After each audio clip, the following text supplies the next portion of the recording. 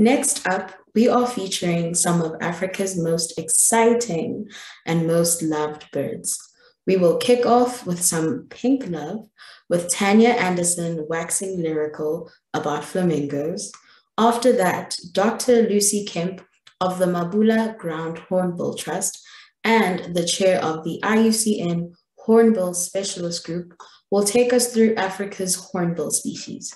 Lastly, Dr. Daniel Danckwerts will talk on the diversity and conservation of our Western Indian Ocean seabirds, with a nod to the upcoming Flock to the Mozambique Channel voyage coordinated by BirdLife South Africa. We hope you enjoy this session. Good day, everyone, and thank you so much for joining me in celebrating the wonder of our African flamingos. Our continent is blessed with gloriously ornate pink flamingos, feeding or dancing in contrasting blue-green waters. A flamboyance of flamingos never fails to impress. Even more impressive, though, are the facts that flamingos are the most highly specialized filter-feeding birds. They have a strange morphology, elaborate courtship dances, mysterious social structures, and very interesting ecological adaptations. We'll take a look at some of these wondrous things, particularly in the lesser flamingo. But first, let's see what a Google search revealed as the top five questions that people ask about flamingos. Yes, you guessed it. Why are flamingos pink? Their diet of cyanobacteria, also known as blue-green algae, and diatoms, which are microalgae, contains carotenoids, which include beta-carotenes, that gives carrots the orange color, and xanthophylls, which they metabolize and convert into pink pigments. And these pink pigments are deposited into their feathers. Is flamingo poop pink? No, flamingo poop is grayish-brown and white, similar to many other birds. However, the first day after flamingo chicks have hatched, their poop may look slightly orange, which is due to them processing the yolk from the egg, which is red. Now, stories abound about blue flamingos being real. Are they real? Blue flamingo gifts and products are real. Storybooks about blue flamingos are real. But there are no blue flamingos in nature, like you see in this picture. This is false information that is ever so popular in social media these days. Do black flamingos exist? Yes. One black greater flamingo has been recorded in Cyprus and Israel over two consecutive years, and it could be the same individual. It is the only record of melanism in flamingos to date. It is truly a one in a million bird, as there are less than a million greater flamingos on Earth. And the last popular question, can lesser flamingos fly? Yes, and they do so very well. They usually fly between wetlands at night when they want to move to other feeding grounds. If they have a tailwind, they can fetch speeds of 90 kilometers an hour. And they are known to fly up to 600 kilometers at night. But here's an example of the longest known flight by a lesser flamingo fitted with a tracker. This individual flew 1,069 kilometers in 16 hours over the ocean to Madagascar. And this little four-month-old juvenile lesser flamingo traveled more than 976 kilometers from Kimberley in South Africa to Lüderitz in Namibia. Now let's have a quick look at a bit of African flamingo history. Human-bird interactions arguably played an important role in many of the prehistoric societies. The oldest trace of the aesthetic charm of the flamingos is 5000 BC, which is found in cave paintings in Andalusia in Spain. Next are artworks of the ancient Egyptians, which are dated between 4000 and 3000 BC. They believe them to be symbols of the sun god Ra, and they also have given rise to the myth of the phoenix. Now Google the word phoenix and you get 1.4 billion hits. So we won't be exploring this legend any further. I'll rather leave this as homework for you. Closer to home, a rare flamingo engraving of circa 1,000 to 3,000 years old was found on Klipfontein in the Northern Cape in South Africa. David Morris, an archaeologist, explains that rock art relates to the minds, the beliefs, and the mythology of the makers. Here, the flamingo has its head bent low as if it is feeding in shallow water in the side of a hollowed rock surface where the rainwater collects. The rock support here is clearly integral to the image depicted upon it, showing the water connection. Some people valued flamingos very differently. While many different kinds of birds were valued items in Roman food, flamingos were the most prized in ancient Roman cuisine. A first century reference to their consumption states the tongue of the Phoenicopterus is of the most exquisite flavour. In Roman times, having a roast Phoenicopterus on the table was a status symbol and a means of flaunting one's riches. Some emperors ate only the choicest parts, like the brains and the tongue. Martial, a satirical poet at the time, wrote about flamingo tongues. My red wing gives me my name, but it is my tongue that is considered savoury by epicures. What if my tongue had been able to sing? Here are some examples of more recent celebrations of flamingos in various art forms. They appear on African stamps from 1938 onwards for many African countries. Lesser flamingos are popular subjects in contemporary art nowadays. You get plastic lawn flamingos of all shapes and sizes, which were popular in the 1950s in America, almost extinct by the early 21st century, and they have recently become more abundant again. There are bundles of flamingo cartoons, including many about lawn flamingos. And beautiful flamingo jewelry. Here is an example of a piece made with Swarovski stones. And flamingos feature in many funny animated clips too. Of the six flamingo species in the world, two occur in Africa, the smallest and the largest. The greater flamingo inhabits the coast of Africa, Asia, and southern Europe. Although the greater flamingo is the most widespread species, the most numerous is actually the lesser flamingo. The lesser is the smallest of the flamingos and about 90 centimeters tall.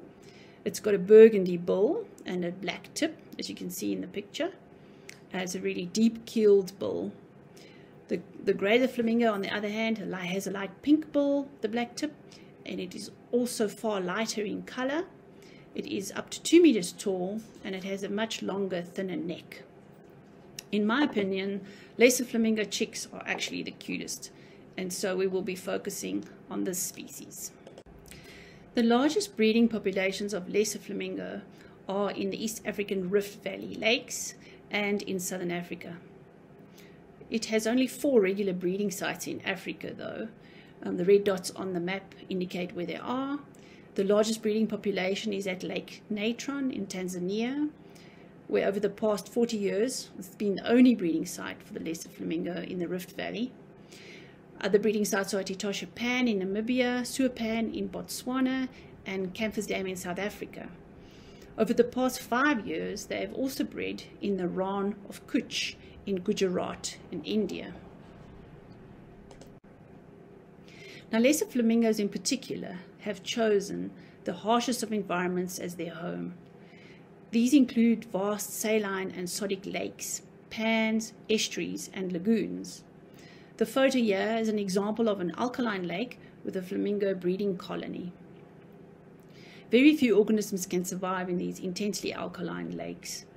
Lesser flamingos can withstand almost boiling and freezing water temperatures, and they even certain levels of pollutants and toxins. They are partially nomadic and they move between lakes and to the coastline, and this is thought to be due to food abundance and availability of breeding sites. The basic aspects of the filtering mechanism and structure are very similar in flamingos and baleen whales, one shared aspect of filter feeding is that both of these animals eat prey that are minuscule compared to their own body size. In fact, they both eat plankton, which contains diatoms. But flamingos are even more specialized in their diets. The bill contains over 10,000 minute platelets, which are also known as lamellae. They feed with their bills upside down in the top water layer and on mudflats. Now, the arthrospira on the water and the diatoms in the mudflats form the bulk of their diet. Lesser Flamingo's filter apparatus has got excluders that exclude large algae and shrimps, and the finer platelets trap the cyanobacteria, the diatoms, and algae of a certain size only, which is swallowed. Smaller species of algae are not retained by the lamellae. Their local abundance is tightly tied to that of the cyanobacteria, Arthrospira fusiformis, which you see at the top right. It's hard to believe, but up to the 1950s, very little was known about the beautiful lesser flamingos' breeding and ecology. The late ornithologist Leslie Brown was the first to study and describe their breeding behavior. He writes of how a human walking on the harsh soda lake like Lake Natron, where flamingos thrive, will soon suffer dehydration and fatigue, and the soda crystals cut the skin and cause sores that are slow to heal, if at all. After enduring severe soda burns and risking his life in trying to reach the colony on the soda flats at Lake Magadi, he taught himself how to fly to survey the breeding sites from the air. Lesser flamingo courtship displays are elaborate, they're very well synchronized, and they are wondrously entertaining to watch. During the breeding season, they are pinker to signal to others during their courtship displays that they are fit and they have parenting capability. They wear makeup as well, just like we do. Flamingos are able to manufacture and apply over their feathers their own makeup to make them more crimson. They rub their cheeks full of secretions from their uropygial gland, and then they rub their cheeks on their backs, and voila, sexier. Let's take a quick look at the courtship spectacle.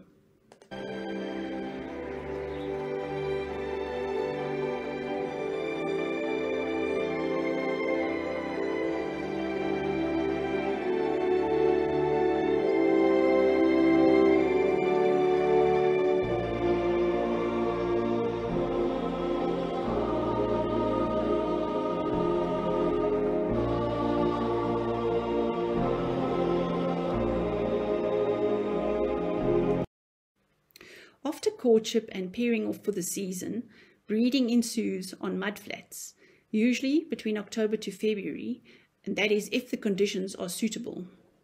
They are very picky about their breeding grounds. They need to be near an abundance of food, they need to have plenty of mud to build nests, shallow waters around the nesting site, and it needs to be fairly isolated.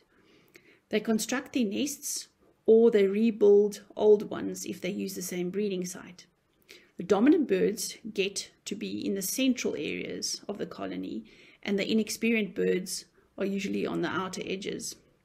Some females will even steal unguarded nests and they will pick the eggs off so that they can lay as the breeding frenzy grows. Both male and female lesser flamingos become sexually mature at around three to four years of age. They are colonial breeders and members of the colonies synchronize the breeding and the hatching. There is safety in numbers this way, and this behavior increases the survival of their young. The chicks join together in creches from around 14 days old. Now, how do the chicks survive these very harsh conditions?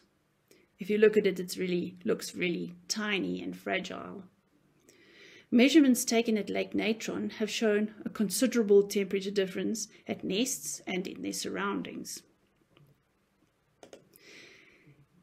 If we take a look at the ambient temperature at midday of 42 degrees Celsius and the shade temperature of 36 degrees Celsius, we find that the dry crystalline mudflats can reach a temperature of 55 degrees Celsius and black mud up to 75 degrees Celsius.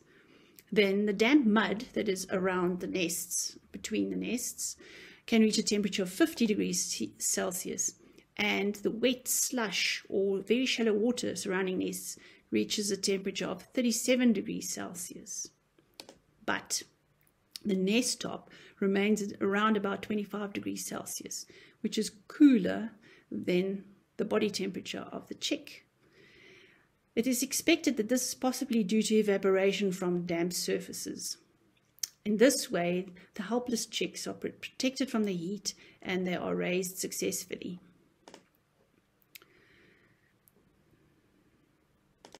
Now for some blood and bludgeoning.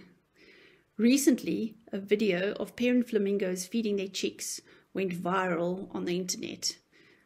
It was shared by the Science Channel online and it shows what looks like a flamingo bludgeoning the head of another flamingo while the offspring was feeding on the blood. People were horrified. But let's take a look at what exactly was going on. Here's a video showing a similar scene for lesser flamingos. What we are seeing here is that both the parents are feeding their cro chick crop milk that looks like blood. The crop milk is produced in the lining of their crops and regurgitated to feed the young. It is initially very red and rich in fat, proteins and macronutrients. The red color comes from the metabolized carotenoids that they get from their diet. It seems like the partner is very keen to feed the chick here as well, but it is not in the right position to do so.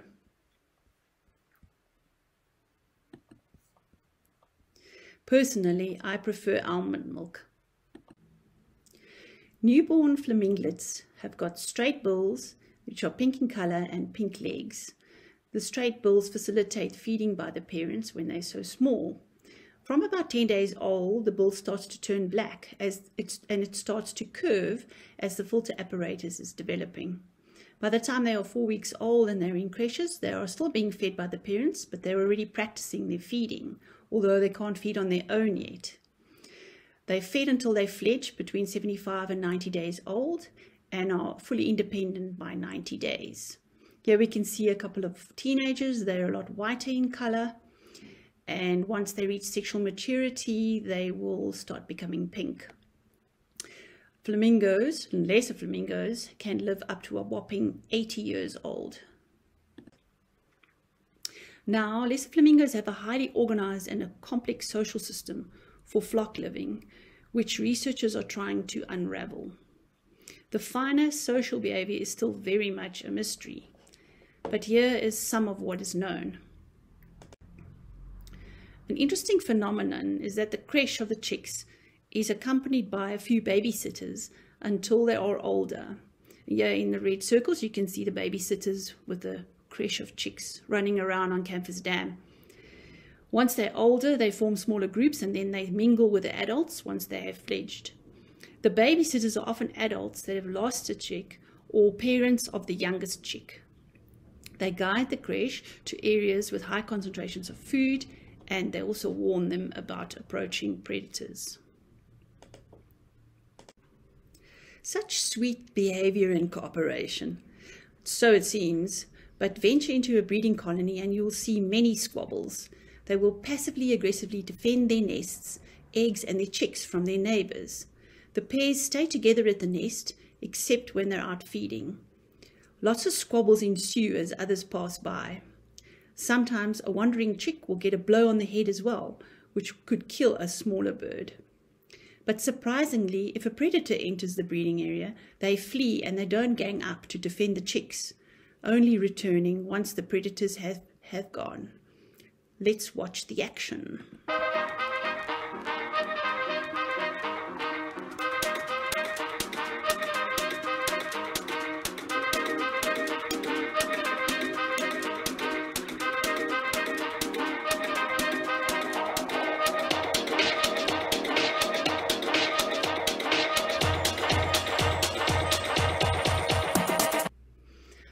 Observed at Kamfers Dam what appears to be individual personalities, and this has been reported from research at zoos.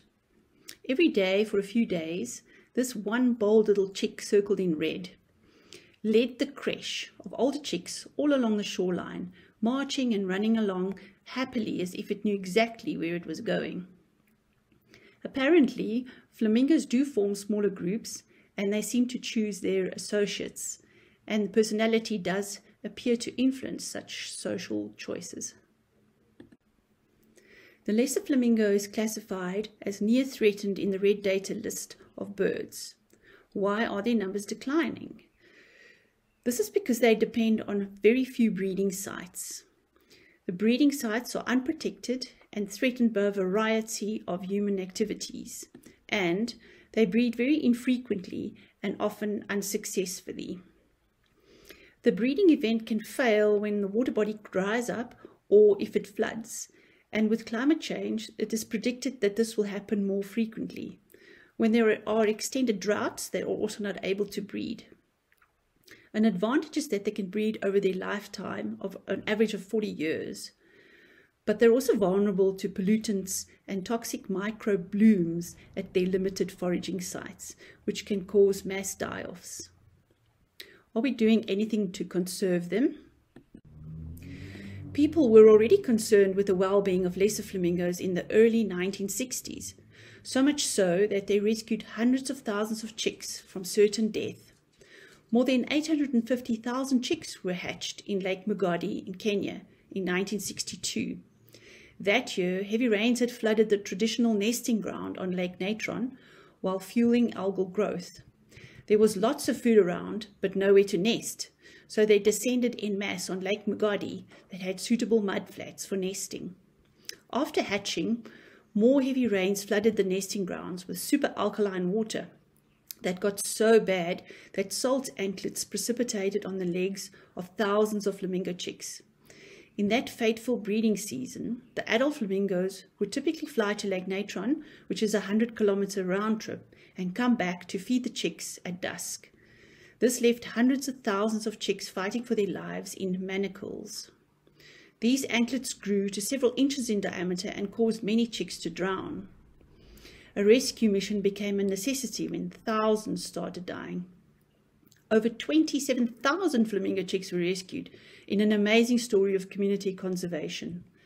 The Magadi Soda Company started pumping fresher water into part of the lake to create a safe haven of suitably alkaline water for the flamingos. The late Leslie Brown, the late Alan Root, concerned citizens, and the Magadi school children worked on the rescue effort at Lake Magadi. Another 200,000 were saved by driving them each day away from the super alkaline water and keeping them near the soda factory.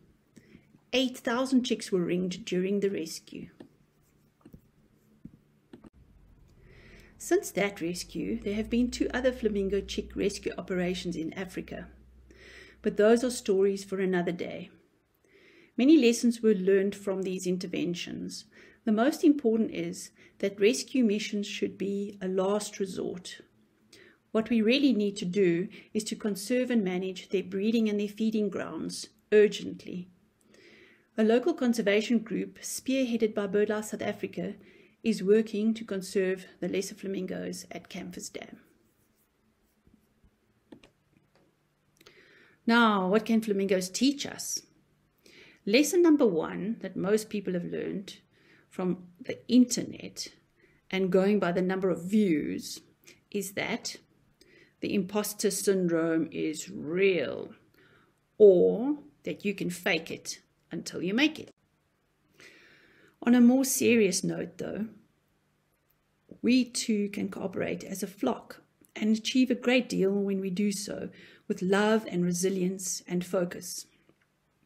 Just as the flamingos fiercely love each other and their offspring, we need to develop a fierce love for nature to protect ourselves and all life on Earth.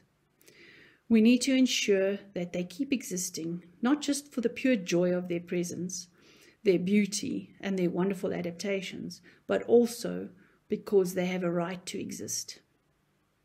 We have an ancient bond with the natural world.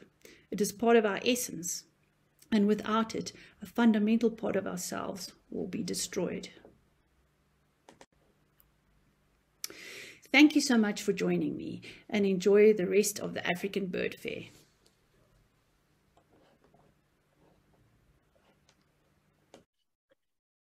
Hi there, good morning. Uh, it is an enormous pleasure to be able to share with you um, where we're at with hornbills in Africa, um, both the big species and the small species, what is happening from uh, biological research through to conservation, and where we need to be focusing our efforts going forwards. So the title of my talk is Hornbills of Africa, the Enigma of the North, the Gangs of the South, and a fearful trade of many in between. My name is Dr. Lucy Kemp. I'm the project manager for the Mabula Ground Hornbill Project. I'm also the co-chair for Africa for the Hornbill Specialist Group. So within Africa, we have uh, 32 species um, of hornbill, so around the same as that of Asia. And we have a lot of work ahead of us. It's, it's a lot of species to take care of, and there's a lot going on for these birds. Within Africa, four of our species are listed as vulnerable, and the rest are listed as least concern. But actually, if we start right back at the basics, we're not even sure how many hornbill species we have. Depending on who you talk to and which, which taxonomy you follow, we have anything from 29 to 32 species. And until we can get this resolved and, and make sure that we're all on the same page as with regards actual full species, we can then start to resolve the conservation status of each of these species. And then we can start to target research and conservation efforts for each of these um, species. So we've put out a call for samples and we're working with JC Gonzalez, who did his PhD at Oxford. Um, he did the full phylogeny of hornbills of the world, um, but being based in the Philippines, he did focus most of his work on what was happening in Asia. And so we have a few unresolved issues within the African context. Are we looking at two grey hornbills? Are we looking at five? Red-billed hornbills. And for Bycanistes fistulator, are we looking at two or three species to be split from that? So once we've got this resolved, we can then go back to BirdLife International and, and be able to work out then for each of these species, whatever that may turn out to be, what is the actual conservation status for these? Because to be fair, we think that the least concern status for the vast, vast majority of our hornbill species is actually highly unlikely.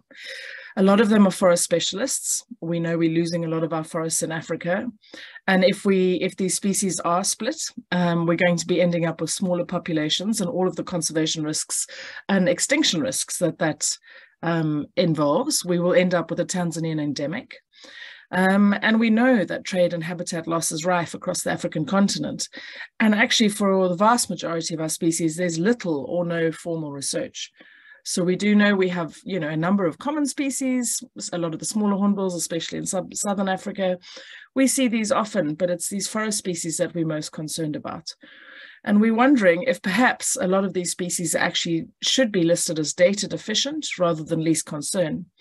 It's also incredibly hard to stimulate interest um, and, and source funding for species that are listed as least concern because obviously everyone is really focused on endangered or critically endangered species. And so we need to try and resolve this for our hornbills so we can really get moving um, on what's happening um, within, within the continent. We know that hornbills are one of the most traded bird families across Africa. Um, finding these birds in muti or fetish markets um, in Southern Africa or West Africa is quite common. Um, and also these birds being big bodied are generally a big part of the bushmeat trade as well. So we know they're being heavily traded for a number of reasons, an increasing trade that we're seeing going out of the continent uh, for aviculture into private collections in the Middle East and, and into China. And so we really need to be following these things and understanding them and know where we can intercept Again, these are unfortunately common sights across the continent. Um, and again, the big birds, the big bodied hornbills are slow breeders, um, and this kind of offtake is unlikely to be sustainable. The aviculture trade, Zazu, everybody loved Zazu, but unfortunately we saw a rise in trade. Um, and increasingly, and maybe just as we're looking more, we, we're following a lot of trade of endangered species, um, well, certainly the vulnerable ones. Um, this is a video of uh, northern ground hornbills, and you know, this just can't be sustainable for such a slow breeding, long-lived bird. Um, but increasingly, we're seeing evidence like this and this. And compared to the Asian species, where where most of the traded species are listed um, on on the CITES appendices, either as Appendix One or Appendix Two, we don't have a single hornbill species in Africa listed on CITES. And what this means is it's very hard for us to track where the trade is going, because even if it was just Appendix Two, we would at least be able to monitor the trade and understand um, what is driving the trade and and where where the main markets are, um, and start putting things like market reduction um, protocols into place. We have a proposal in preparation for the yellow casqued hornbill, which seems to be the most heavily traded um, in West Africa. So we've we've started to move forward on this, um, but unfortunately we haven't yet managed to find a, a, um, a trade uh, range state who's willing to um, put this forward as a proponent. Obviously these birds don't occur in South Africa, so we're not able to do it from our side.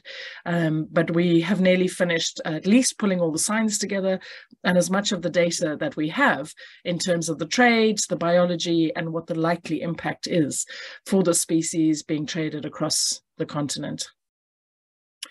We also working together with um, uh, Monitor and Munda Nature, um, funded by Indianapolis Zoo, to start pulling together an African hornbill trade database. And we're hoping once we can start consolidating this data, we'll be able to start seeing where the patterns are and where, from a conservation point of view, we can start to intercede.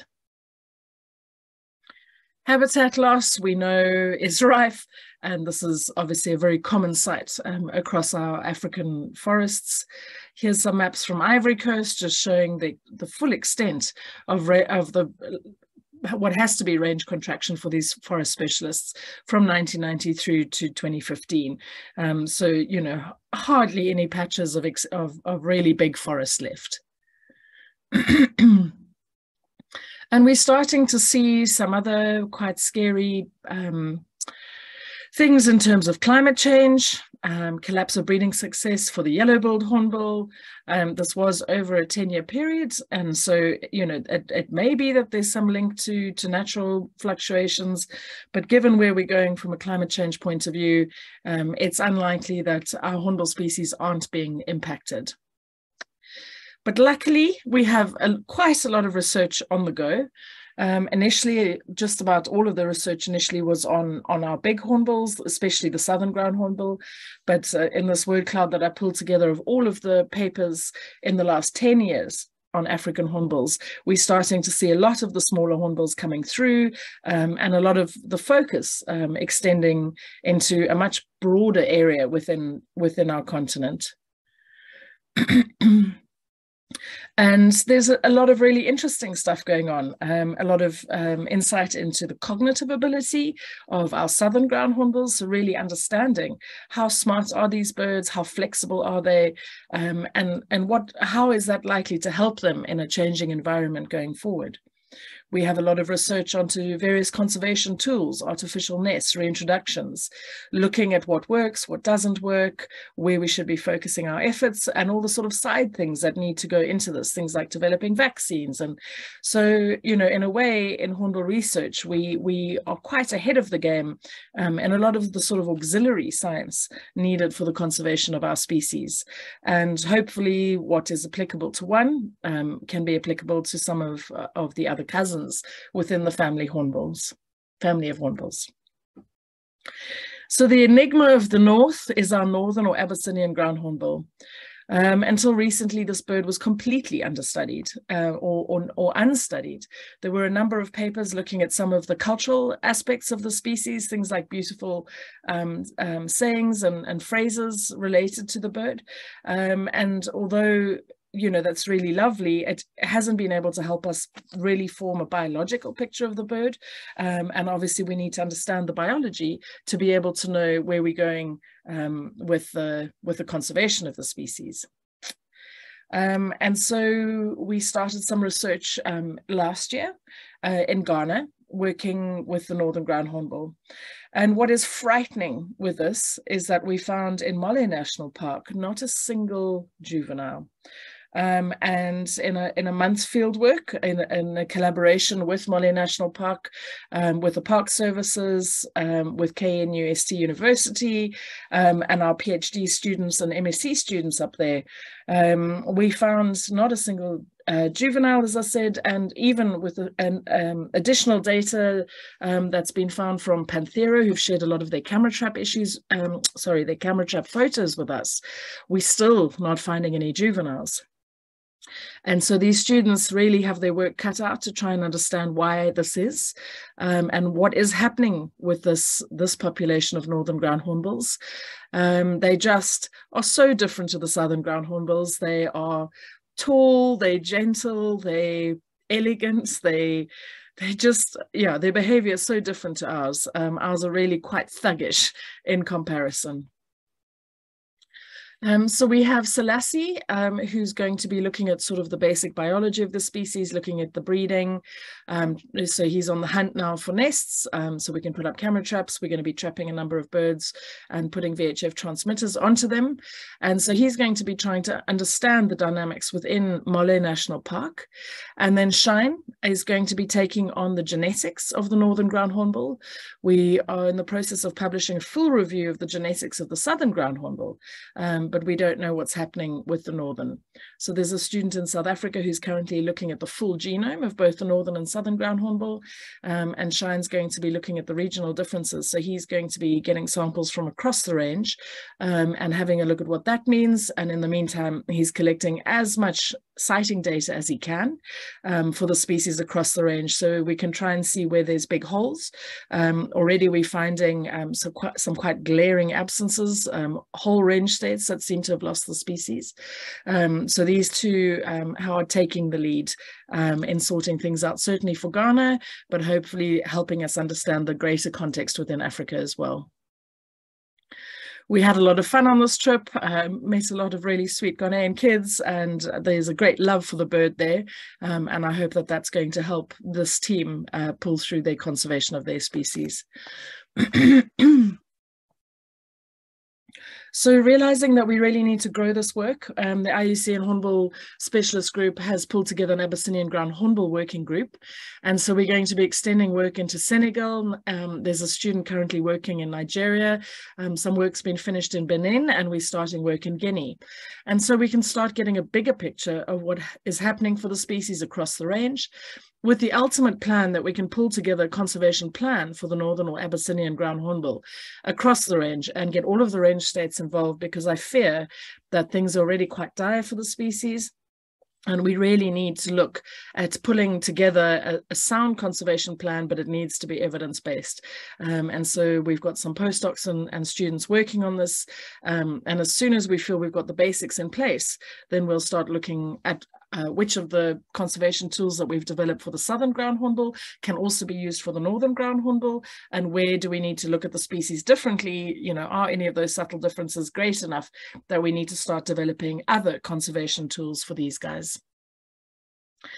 Um, our gangs of the south, um, they really are much much tougher and more thug-like than the, the than the enigma of the north, um, but always an absolute pleasure to work with.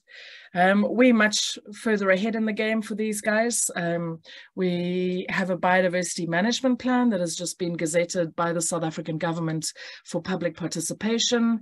Um, and that's going to be the latest sort of conservation document, planning document that will drive all of our actions going forward. We have a Thunderbird task team within South Africa, and we have some partners from neighboring range states um, to make sure that we're all pulling together in the same direction and trying to meet all of our targets that are outlined within this document. What has been one of the great offshoots is we've started a really comprehensive monitoring plan for Southern Ground Hornbills. It's all citizen science driven. We realize that just relying on SABAP2 and, and you know, the, the atlasing done by birders wasn't going to be enough for us to cover the Southern Ground Hornbill. And so um, Dr. Jared Alexander, my research coordinator, has put a lot of effort into building, um, I think it's over 60 WhatsApp groups now across the country. Um, and we're getting these monthly snapshots on what's happening with each of the groups. We're monitoring at a pentad level, and we're able to see where there are problem areas, where our conservation actions are working. Um, and what is nice with the citizen scientists, because it's, you know, a broader part of society. We have taxi drivers, bus drivers, farmers, um, you name it. Um, we're able to then feed a lot more information back into our citizen scientists um, and grow a much stronger network of people who know more about the birds, are able to share more about the birds and, and keep the reporting coming. We've done some really cool stuff this last year. We've been scanning the inside of um, our hornbill nests. Um, so these are some of the 3D scans from our from our first sort of trial, because we realized a lot of the assessments of the nests that we've done in the past have been sort of tree species, what size, but actually, when we're looking in terms of things like heat loss, very, very necessary to try and understand in the context of climate change and rising temperatures in summer, we need to understand how the actual space within the nest um, is, is helping losing um, heat from the nest. Um, and all of this is done um, to ensure that we're building and continuing to build the best possible artificial nests for, for our birds. Um, so you can just see this little model on the bottom. Um, which is just sort of going around in a 360 of what the inside of that nest looks like. And so we've already um, changed some of our designs from last year. We realized we needed a lot more um, heat loss from that. Um, and we're working on different materials and different ways of processing them um, to make sure that they're stronger because ground hornbills, especially our thugs of the South, will absolutely smash to pieces anything that we try and put out. So we, we need to make them stronger and stronger, but we need to make sure that they, um, at the very, very least, the same as ambient temperature. But going forward, as we're seeing um, these, these rising heat waves during summer, 40, 45 degrees, we're needing to make sure that we are uh, doing the best possible cooling design for these birds um, and may going forward be looking at actual um, natural air conditioning um, designs going into these nests. Um, and obviously we need to, to roll these out um, a lot faster. We need to be able to build them faster. Um, and so we continue to, to play with the design. We've been then able to share what we've learned in South Africa um, with some of our range states, and ultimately we would love to have every one of the range states um, actively conserving their ground hornbills. So the first was uh, Zimbabwe, um, and we were able to, um, in collaboration with BirdLife Zimbabwe and a, and a number of the universities, pull together a conservation action plan for Zim, um, sort of a starter conservation plan uh, to start getting the basic knowledge in. There's now a thriving citizen science program for the species and the data keeps flooding in. And so we're able to try and then assess where outside protected areas um, is active conservation going to be needed within Zimbabwe. And again, growing a network of citizen scientists who understand the issues and are able to share those within their, their own areas. Uh, we've just completed a conservation action plan for Namibia, and this is um, the first time that it has full community participation. So often these conservation plans are scientists and conservation practitioners coming together, um, but we've taken this a step further and we had all of the conservancies and community forests where ground hornbills occur within Namibia um, as part of the conservation planning team. And so we're just busy writing up the draft of that. And it was, it was a really amazing process. Uh, they pulled together an excellent conservation plan. Um, and I think it's going to be a really implementable plan and really simple solutions to trying to fix their ground hornbill problems once, you know, now that they've le learned what they are and have run through what the processes are that are driving the declines for them. Their next step is Botswana. We're in the planning phase for that. Um, and so, you know, now we've got most of our neighboring range states um, also um, at least monitoring and starting to implement conservation plans. We do have a lot to do, though, within the African context. We need to grow a much bigger team of African hornbill researchers and conservation practitioners. There are a lot of species that need um, attention. Um, and so through the Horn Hornbill Specialist Group, we're looking to connect connect researchers, make sure that we're sharing as much as we can in terms of conservation um, tools that we've developed. We need to finish those conservation plans for our three vulnerable hornbill species. We need to finish our taxonomic review so that we are absolutely certain what we're dealing with and then make sure that those conservation statuses are updated for each and every one of our species. Then we need to start fundraising to make sure that we've got the required research and conservation can take place because there's no point putting together an excellent conservation plan if we can't get the funding um, and the support to make sure that that plan can be implemented within the time frame frames agreed. Um, putting a lot more effort into understanding the real threats uh, to hornbills from climate change, um, being cavity nesters and the female and the chicks really quite trapped in that nest. Um, we need to understand what rising temperatures are going to be doing for these birds. We need to move forward on a couple of CITES applications. Um, and because the Asian hornbill community um, is, is much bigger than ours. We've got 230 members um, um, in Asia. Um, we're able to fast track a lot of our learning based on the Asian um, experience, but also we need to be finding African solutions to the African problems that we face.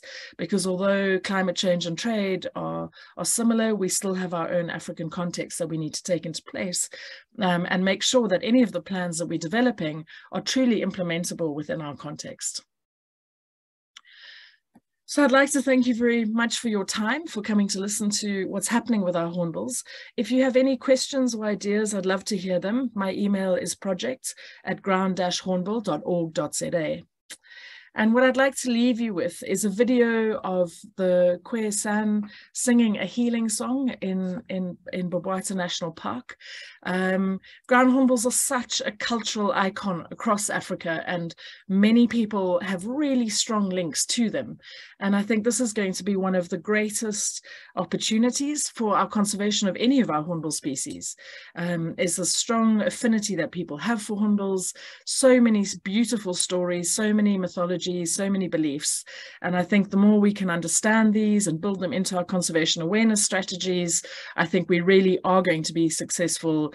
And I would like to make sure that we don't lose a single one of our African hornbill species.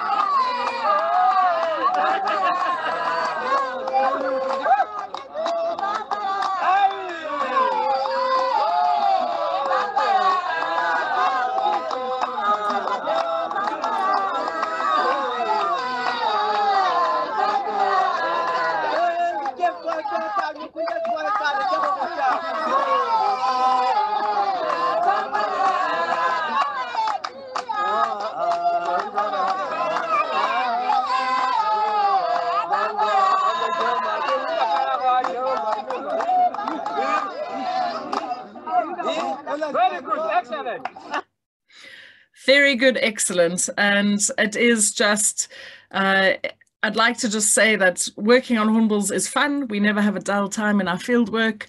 Um, and I hope this leaves you with a little bit of love for hornbills. Thanks again for coming. Good morning, ladies and gentlemen, and thank you very much for taking the time out of your day to come and watch my presentation at the virtual African Bird Fair.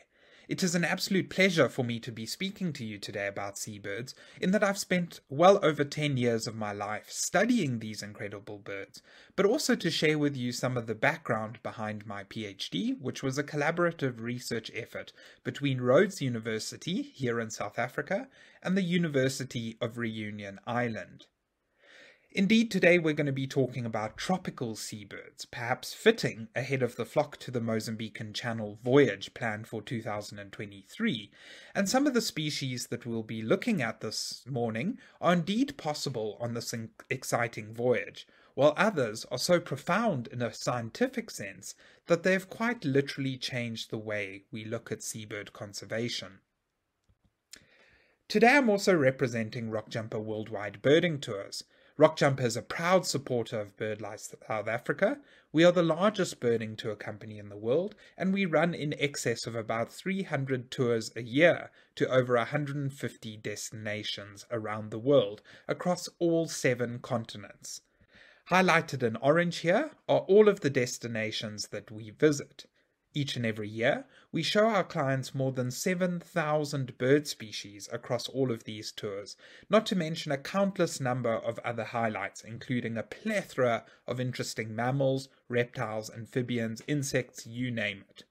So if you too would like some more information, please feel free to approach our Rockjumper virtual store at the virtual African Bird Fair or get in touch with our offices today. Now let's take a break from the formalities and get to the interesting bit of this lecture, to the seabirds. For several reasons, notably the inaccessibility of many seabird breeding islands, seabird conservation is an incredibly complicated task. Successful campaigns normally have to follow a tried and tested formula, and this morning I'm going to be using the analogy of a spaghetti western movie to share with you some insight into tropical seabird biology, some of the intricacies behind their conservation, and how one species in particular has revolutionized the way that we think about seabird conservation. So much like the old Clint Eastwood movie, The Good, the Bad, and the Ugly, today I'm going to be telling you a different story about the expected, the unusual, and the unexpected. And while this title may seem a lot less catchy, and its cast perhaps not quite as famous, I guarantee after this morning's talk you'll have a newfound appreciation of these incredible birds. Our story begins and ends on the peaks of two lonely mountains, the remnants of an extinct volcano that jut through the clouds and form the summit of Reunion Island. These mountains are home to our story's main protagonist. It's a story about the incredible ability of seabirds to fly immeasurable distances out at sea. But the absolute most important part of their journey is the journey back home. But in order to tell you this story, I need to give you a little bit more background about general seabird biology. We of course all know what a seabird is. By the truest definition, a seabird is a bird that spends part or all of its life in association with marine environments. So, looking at this definition, some of the bird groups that immediately come to mind include the albatrosses, petrels, and shearwaters, penguins, terns, tropic birds, boobies, frigate birds, uh, just to name a few. But the term seabird has very little taxonomic base to it, and using that standard definition, one could even go so far as to include herons or shorebirds within the term seabirds. So, however diverse they are, all seabirds also share one common thread that their lives are biphasic, they spend part of their life out at sea, but they are constrained by land for breeding purposes, which is the definition that I prefer to follow. If we look at the distribution of seabirds in general, we see some key differences between high latitudes, so polar ecosystems, and lower latitudes or tropical ecosystems. High latitude seabird populations tend to be dominated by birds of the order Procellariiformes, including the petrels, albatrosses, shearwaters, and their close cousins. But other important groups within high latitudes include the penguins, cormorants, skuas, jaegers, and then there are a number of endemic groups to the higher latitudes, most notably the um, sheathbills. In terms of their overall assemblage, tropical seabird populations are perhaps more diverse than higher latitude polar species. In tropical systems, our populations are dominated by terns, but other important groups include the tropic birds, boobies, and frigate birds. So why is it important to make this distinction? Well, as far as where these seabird populations exist, of course the Southern Ocean is particularly rich in species, the tropics less so, and the high Arctic has the lowest species richness overall. Species richness referring to the number of species that occur, not necessarily reflective of the size of the populations. Comparing the distribution of seabird species with the extent to which their populations have been studied, illustrated here by the shaded areas in the map, you can quite clearly see that the larger populations have been more extensively studied. But there's a second relationship linked to the wealth of a country and the extent to which its seabird populations have been studied, as is clearly seen with the populations around Europe. But if we look at a similar map indicating the impact of human populations on seabirds, we can quite clearly see that one of the most threatened populations exists within tropical systems. Now, this isn't necessarily to diminish the importance of the impacts of invasive mammals on high latitude seabirds, or indeed bycatch associated with the longline fishing industry, the two main threats impacting seabirds at higher, higher latitudes but it's to rather highlight that we know very little about what's happening within tropical seabird populations, and this is severely limiting our ability to conserve their populations. Of course, in a very general sense, some colonies are much better known than others. So, what are the major threats influencing tropical seabird populations? Well, not to go into too much depth with this, I'm more than happy to answer any questions that you might have afterwards. But some of the key threats facing tropical seabirds are the direct exploitation of seabirds and their eggs, the predation of seabird populations by invasive mammals, the disruption of the foraging association between tropical seabirds and schooling tuna due to overfishing, and habitat destruction at their nesting sites. So let's focus things down on the Western Indian Ocean then. The region we're talking about extends from the East African coast all the way to about 80 degrees east. Throughout this region, we have 54 seabird breeding colonies, ranging in size from about 20 pairs of seabirds on some islands to over 4 million pairs breeding on other islands. As far as the species are concerned, there are 30 resident breeding species in the Western Indian Ocean, including sev- several species of tern and gull, boobies, frigate birds, tropic birds, petrels and shearwaters, as well as one species of marine cormorant.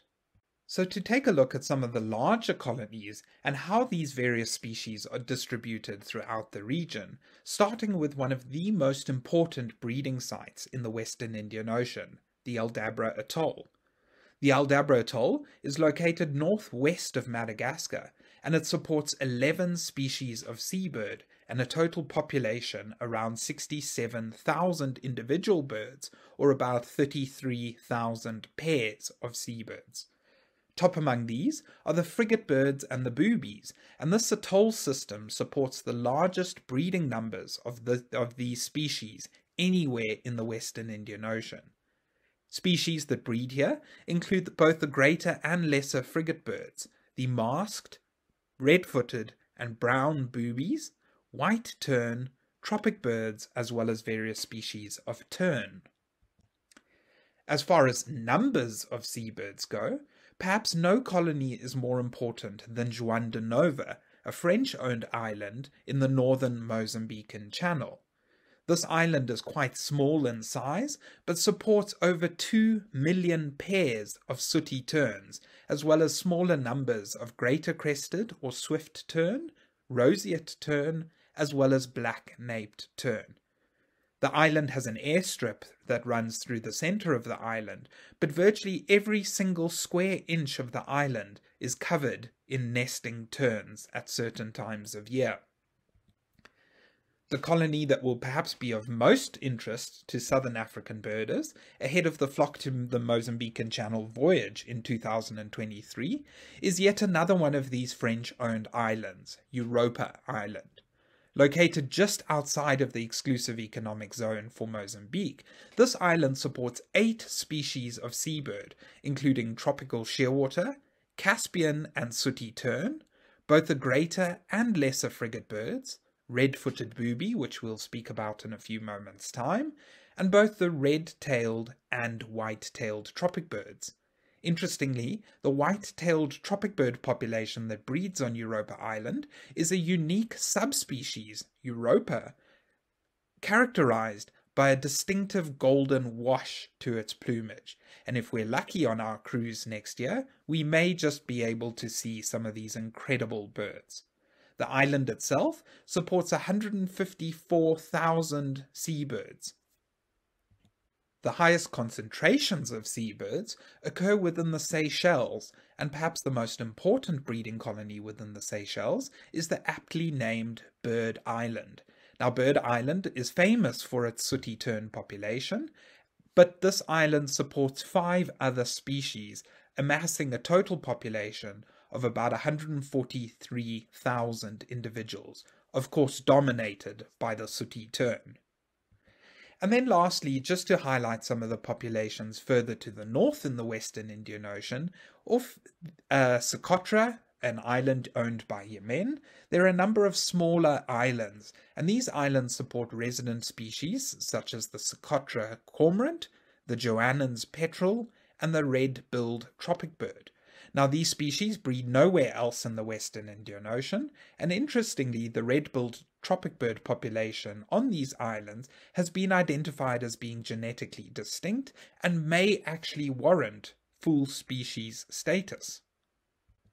So diverse as the region may seem in terms of its seabird populations, the populations of the western Indian Ocean are in fact dominated by just six species. These spe six species altogether account for more than 99% of the total breeding population of seabirds in the western Indian, western Indian Ocean. Indeed, one species, the sooty tern, accounts for more than 85% of all seabird populations in the region. And this leads me to the selection of the three protagonists to our story and the subjects of my PhD the superabundant sooty tern, which breeds in all three ocean basins, the Indian, Pacific, and Atlantic Oceans, the strongly polymorphic red-footed booby, which again is a pantropical species, it breeds in all three ocean basins, and then the rare Barau's petrel, which is an island endemic to Reunion Island. One facet of seabird conservation that I've always been fascinated by is the appropriate scale to which we need to conserve seabird populations. And without getting into the technicalities of this, the easiest approach to investigate this is using genetic techniques. Now, we're not talking about using genetics to describe new species, and indeed genetics is the best tool for this, but rather investigating the connectivity of seabird populations, or more simply, whether birds breeding at one site will ever move to breed at an additional breeding site. Of course, we know that seabirds are able to fly immense distances out at sea, and while some species have defined migration patterns, others do not. So based on this aspect of seabird biology, we can make several assumptions about their population connectivity. So herein comes the story of our first protagonist, the expected species, the sooty tern. The sooty tern breeds in vast populations throughout the tropics, and as I mentioned before, it dominates the seabird populations of the western Indian Ocean. The species is indeed capable of flying immeasurable distances out at sea, but just how far can sooty terns travel? My colleagues from Reunion Island have fitted GPS trackers to sooty terns at various breeding sites throughout the western Indian Ocean, and they've identified that sooty terns are roamers in the sense that the birds wander the oceans aimlessly looking for prey, although there are certain areas of the Indian Ocean where they tend to congregate. It therefore makes the species an ideal model through which to study seabird population structure. Given the immeasurable distances that they're able to fly, we would assume that these birds are coming across other breeding sites where they may potentially remain to breed. And as far as the genetics would be concerned, we would then not be able to distinguish between these various populations in any way. The theory goes, why would a bird fly tens of thousands of kilometers away from their breeding colony, encounter a second breeding colony, only to fly tens of thousands of kilometers back home in order to breed? If we project these theories into conservation, we know that the threats that are being faced by one colony could be potentially minimized by active movement of birds among various breeding sites.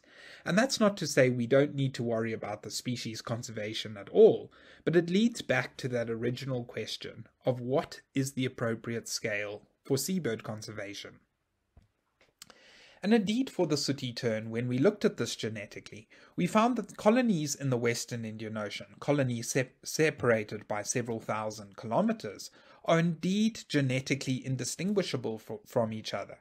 And interestingly enough, colonies in the Western Indian Ocean are genetically indistinguishable from colonies in the Pacific, which suggests that these birds are capable of moving not only between uh, separate breeding sites within the same ocean basin, but between ocean basins, flying tens of thousands of kilometers. And this is supported by ringing uh, recoveries of sooty terns.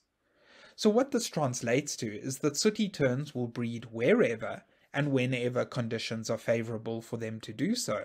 And this active movement among breeding sites has eroded the genetic difference between separate breeding colonies, implying to also that the threats that the species are facing aren't all that much to worry about for the time being and in a very general sense. Rather than conserving the species as a whole, we then need to start looking at the threats that each individual breeding colony is facing to ensure that the numbers within each colony stay the same. So what does this mean for seabirds in general? Because we obviously know that all seabirds are capable of flying these immeasurable distances. And how can the lessons learned from the sooty tern be applied to all other seabirds that fly immeasurable distances? Well, the answer is quite simple. We can't apply the lessons learned from the sooty tern in that every species behaves differently. And to explore this, let's have a look at our second protagonist, our unusual species, the red-footed booby. Now, this is an incredibly interesting species in that it is strongly polymorphic, meaning that within the species' overall breeding range, we see six distinct color morphs. Now, something that's very interesting about this is the color morphs have a distinct genetic basis to it. And so, based on this, we can make certain assumptions about how the species population is structured. In the Western Indian Ocean, we can classify our breeding colonies into three distinct groups. We have colonies up in the Seychelles and further to the east on the Chagos archipelago that are dominated by white morph birds. Europa Island, down in the southern Mozambican Channel, is then dominated by brown morph birds, in particular white-tailed brown morph birds. And then to the east of Madagascar, on Tromelin Island, we have a single breeding colony that is uh, consists of a unique ratio 60% white morph birds and 40% brown morph birds. And so based on this, we can assume that population, the white populations all connect with one another, but the white birds are genetically isolated from the brown morph birds. Where Tromelin comes in and where Tromelin makes this a particular interesting scenario is we could assume that Tromelin is independently connected to both the white morph populations as well as the brown morph populations. And indeed, when we tested this genetically, we found exactly that all of the white breeding colonies are genetically indistinguishable, suggesting that there is active movement of birds among these breeding sites, even at scales of several thousand kilometers. When we compared white to brown morph birds, we found that there's absolutely no connectivity between these populations whatsoever, and that has various uh, links to the sea surface temperature within the Western Indian Ocean. In particular, the Mozambican Channel, or the Mozambican Current that flows through the Mozambican Channel, is the warmest ocean current in the Western Indian Ocean. Warm water typically translates to poor foraging grounds for seabirds, and hence red footed boobies would sooner move around Madagascar than have to cross the Mozambican Channel. But interestingly, when we had a look at Tromelin Island, we found that Tromelin is a much more recent colony, and we suggest that it has been independently colonized by white morph birds from the white populations up in the north and brown morph birds from Europa Island.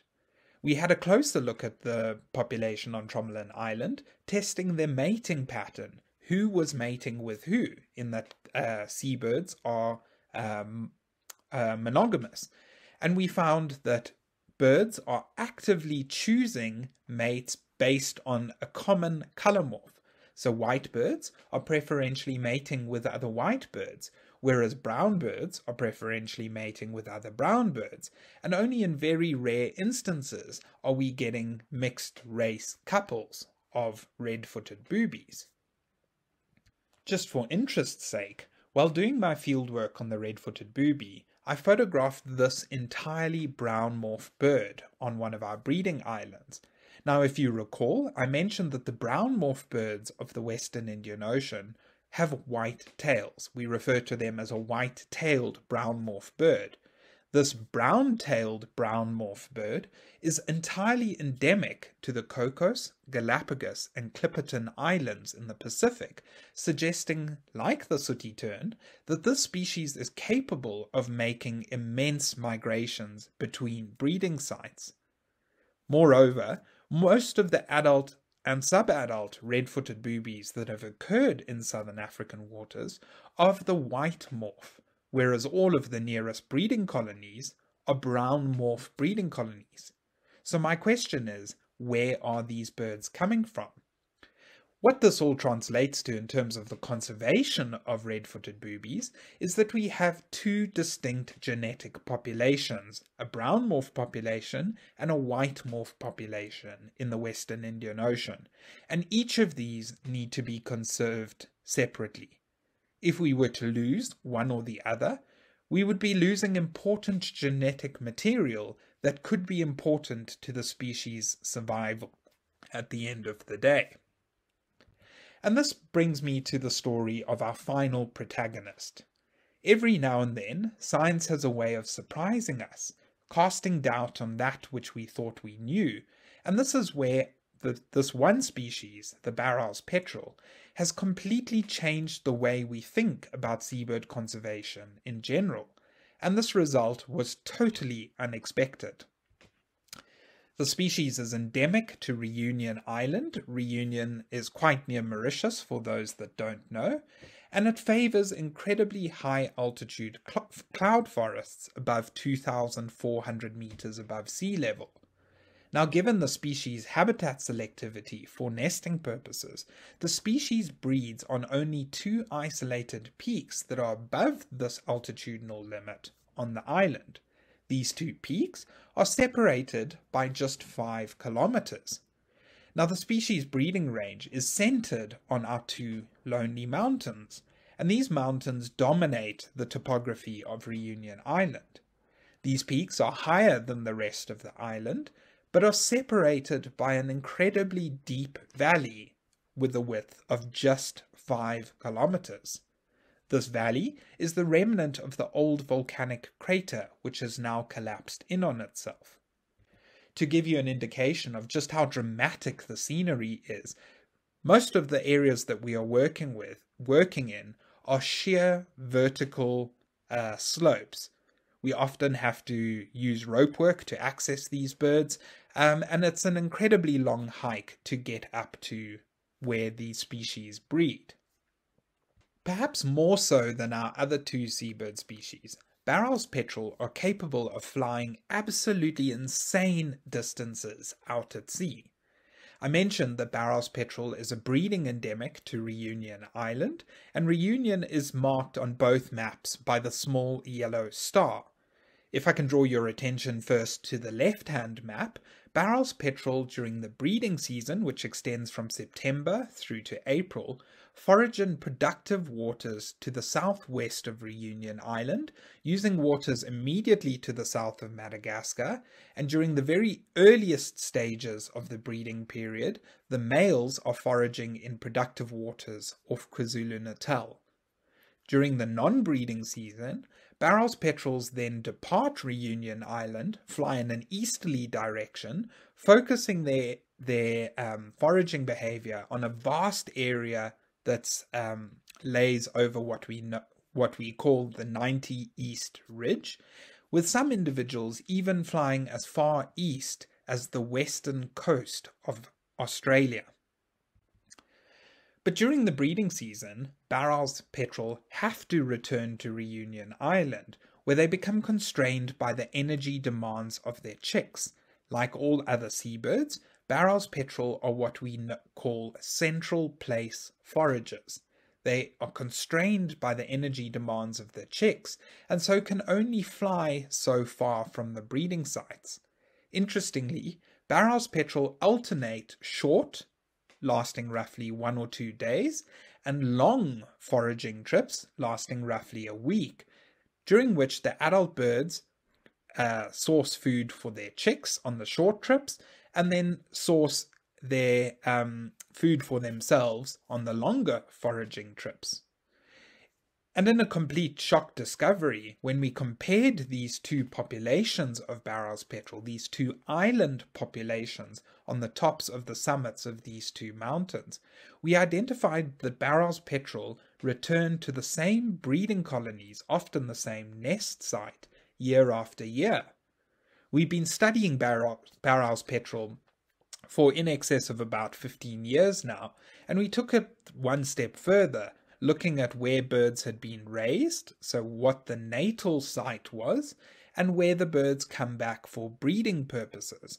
And we found that not only are birds returning to the same breeding colony, they're often nesting within 10 meters of the nest in which they themselves were born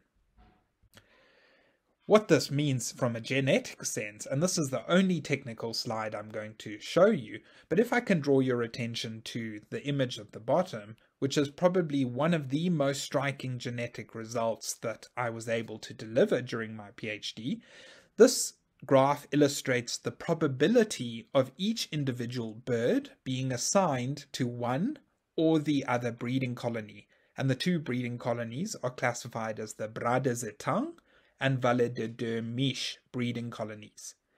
And we found that Barau's petrel can routinely be assigned to the colony in which they themselves were sampled based on their genetics, suggesting that, that there is absolutely no genetic admixture between these two breeding sites.